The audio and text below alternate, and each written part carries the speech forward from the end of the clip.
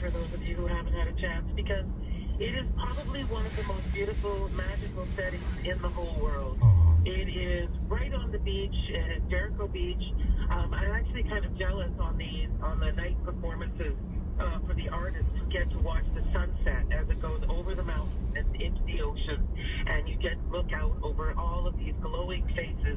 It's just a magical setting with magical people, and I um, have I sold it enough for you yet, or is there? Yeah. Honestly, just the, the, the beach and the sunset, yeah, like I'm in. Everything that you just said is like, that sounds like the place I'd rather be instead of the icy tundra I currently exist in, but that's fine. Naomi, uh, I've heard you've been going to this festival your entire life, literally. Could you tell us about your family's history with this festival? Yeah, so in July of 1983, my parents got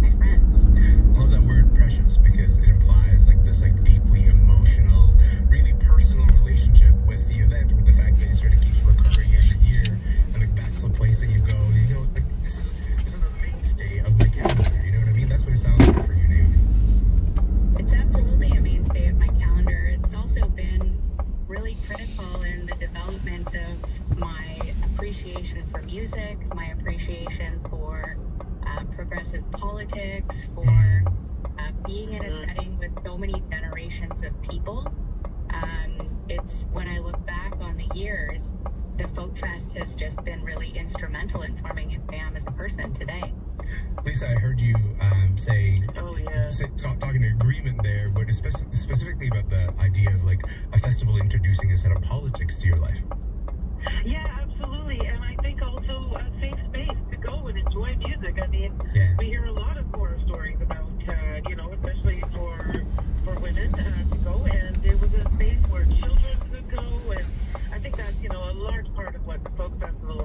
is like, why it is uh, so important and crucial to music and to culture. So, Lisa, let's talk a little bit about the last couple of years because, sure, the, the, fe- the festival had to shut down for COVID, um, but it had a huge comeback, right? It came back last year. New, Newport Opera's played, Allison Russell played, and then at the time, the organizer said the ticket sales like passed the expectations that they had. And then we get to January of this year, and they say, you know what, not coming back in 2023. I think everybody's wondering what happened. Yeah, it was quite alarming uh, to hear the Festival Society say that they needed an extra $500,000 to produce the festival this summer. Wow. Uh, they said it was unfortunately not realistic or sustainable with its current cash flow. Things have changed since COVID. And um, something I think was quite interesting for a lot of uh, people to learn and, and turns out could be a problem for a lot of festivals um, is that the festival president said, for example, many of our vendors now require payment up front which our cash flow does not allow for. So it's really getting a peek into the books, which do not look good. Uh, it's not even just this year's event because I think that would be one thing, Naomi, if they said, okay, we got to take a year off to regroup. But some of the story that we're hearing is that the, the society that organizes this festival said they're going to vote next month um, to decide whether they have to dissolve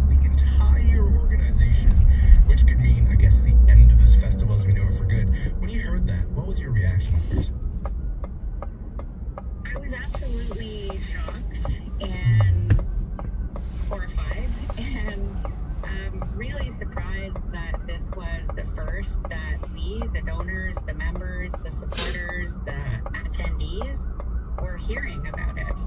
Um, we know that the festival has struggled financially in the past, but on every occasion where there has been a real shortfall, they've reached out at the earliest possible moment to, um, us for help. So it didn't come totally out of the blue. I did see that it was a scaled down event um, last summer, but there really wasn't an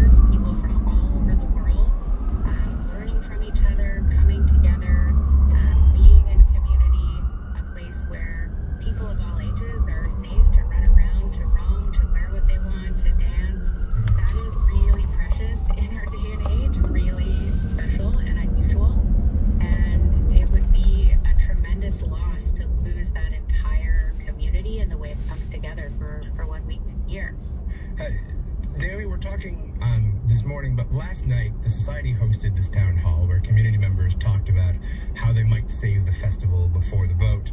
You were there. How hopeful are you feeling today, um, having witnessed that? Well, I will say that um, it was a challenging meeting on a lot of levels. I'm trying to maintain a level of hope this morning. I think that much will depend on whether the board can go from a place of being determined that a resolution to dissolve the society was needed to actually really openly considering the proposals to save it, to think creatively about it, hmm. because it's very difficult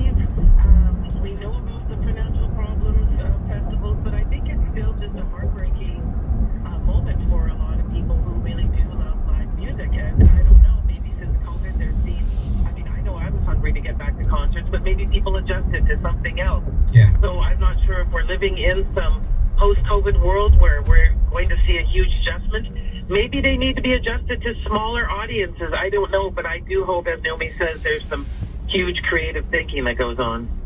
Naomi, last word to you um, on this. Beyond what this event means to you personally, how would you characterize losing the Vancouver Music Festival? What would that mean, do you think, to the city as a whole?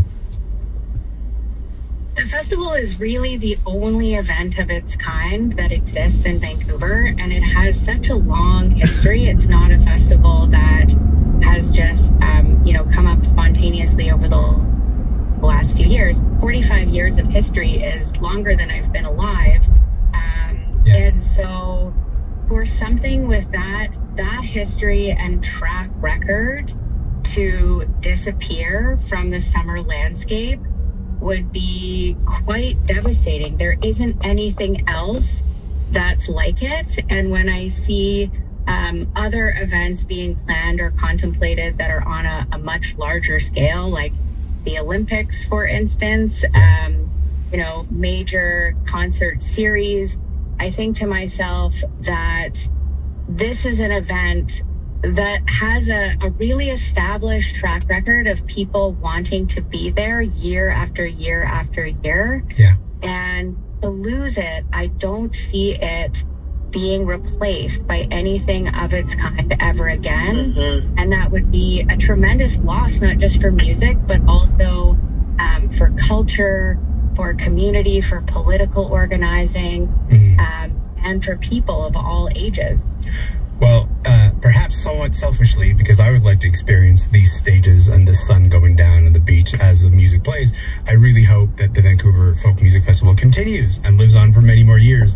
I'm hopeful that I can make it out there someday. But uh, Naomi, Lisa, I really appreciate you being here. My pleasure. Naomi Moses has been going to the Vancouver Folk Music Festival her whole life.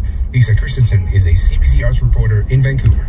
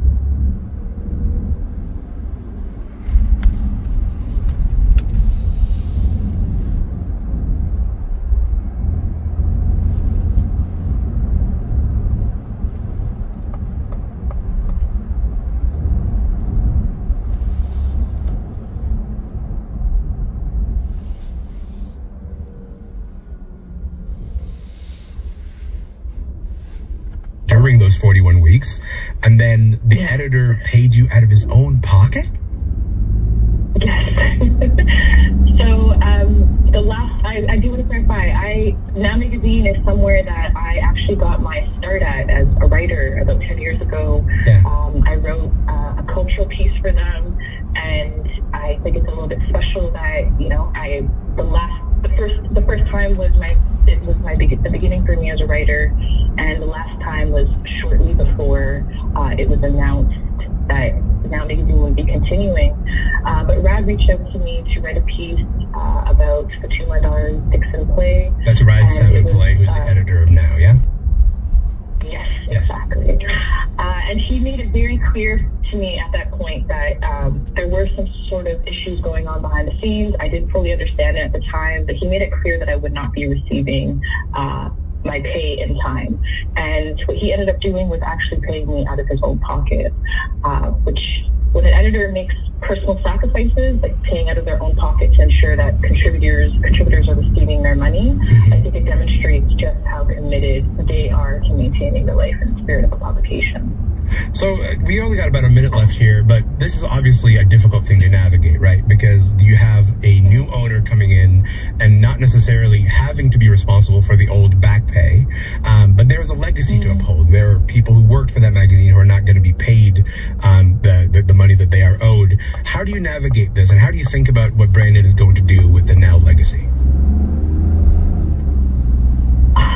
Expect Brandon to maintain that Now legacy completely. Um, I think, as Rad and other writers for Now Magazine have kind of hinted at, that legacy might be gone. But I do hope that he revitalizes it to something new that might have some sort of uh, strings or, or connections to that previous legacy. We know that Toronto is a hub for Black artists and creatives in the city. Uh, there has never really been an online space to really address that. And I wouldn't even say this is reserved for the Black community. Cultural reporting is really at, um, uh, at really a difficult, difficult location across the continent right now. So I'm hoping that he utilizes this on, online space to maintain uh, that the essence of now's commitment to the arts community, to the cultural communities of, of this of, of the city. Uh, and I'm really hoping that he, he uses now Toronto not just for an outlet for viral stories, but uh, really demonstrating the, the, the vibrancy of, of culture happening here. I love that. Uh, Huda Hassan, thank you so much. I appreciate your thoughts on this. Thank you for having me. Huda Hassan writes a monthly column for CBC Arts called Against the Grain. You can read her entire piece on Brandon Gonez and the future of now at cbc.ca slash arts. That is a commotion for today. Tomorrow, we wrap up this whole week with this really big story. Beyonce announced her brand new tour. I am preparing myself mentally and physically for the Ticketmaster Hunger Games. We're going to talk about it. We're going to talk about how Gawker has been shut down again. All of that and more on Commotion tomorrow. My name is Elamin Abdelmahmoud. Why don't we do this again tomorrow?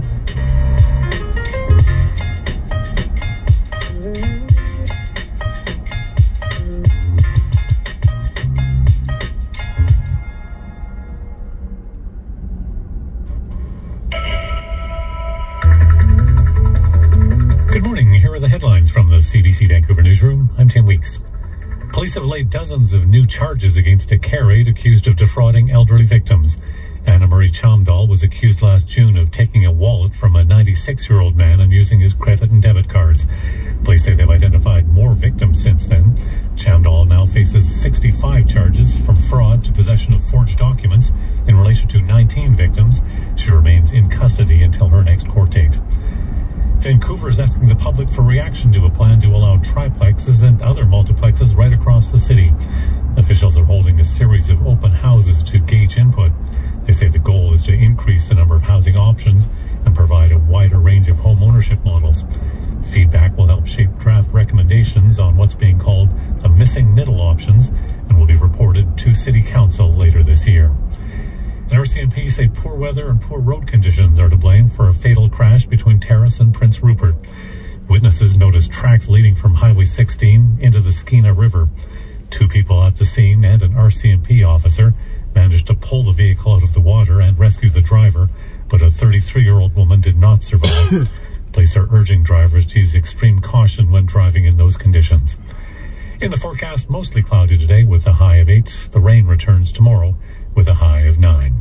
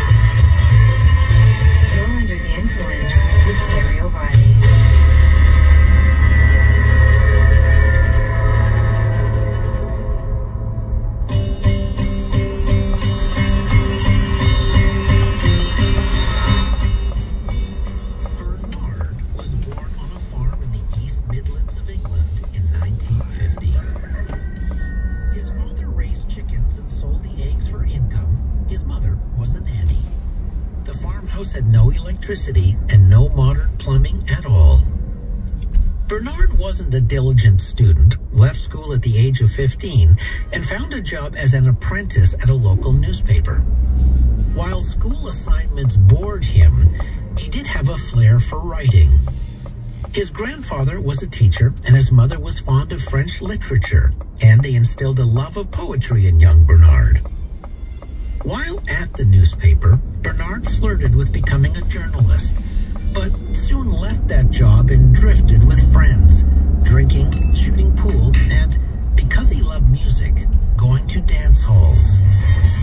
Then one day in 1967, Bernard spotted an ad in the New Musical Express, a British music newspaper. The ad had been placed by Liberty Records. They had a job opening for a songwriter. So Bernard stuffed a handful of poems he had written into an envelope and mailed it to the record company. 23-year-old named Reg was kicking around London. He had been a bit of a child prodigy, able to pick out melodies on the piano at three years of age. That talent got him a scholarship at the Royal Academy of Music at the age of 11. While he had a difficult relationship with his father, both parents were musically inclined and were avid record buyers. When his mother brought home a record by Elvis, Reg was hooked on rock and roll. At the age of 17, he formed a blues band. But what he wanted to do most of all was write music for other performers. Then, one day in 1967, he spotted an ad in the New Musical Express. The ad had been placed by Liberty Records. They had a job opening for a songwriter. So Reg stuffed a bunch of songs he had been composing into an envelope and dropped it off at the record company. Liberty Records saw something in Reg. They wanted him to start writing songs for their stable of artists. Except it was one problem. Music came easily to Reg, but lyrics did not. So the Liberty Records executive reached into a pile of envelopes from lyric writers, randomly pulled one out, and gave it to Reg. On the tube ride home that night, Reg opened the envelope and began reading the poetry inside. They were written by someone named Bernard, and they were pretty good. So Reg set some of the poetry to his music and mailed the results to Bernard. They continued writing long distance in two separate towns until they finally met six months later. Not long after, Reg and Bernard were hired as staff writers by music publisher Dick James to compose material for various artists. It was a big opportunity.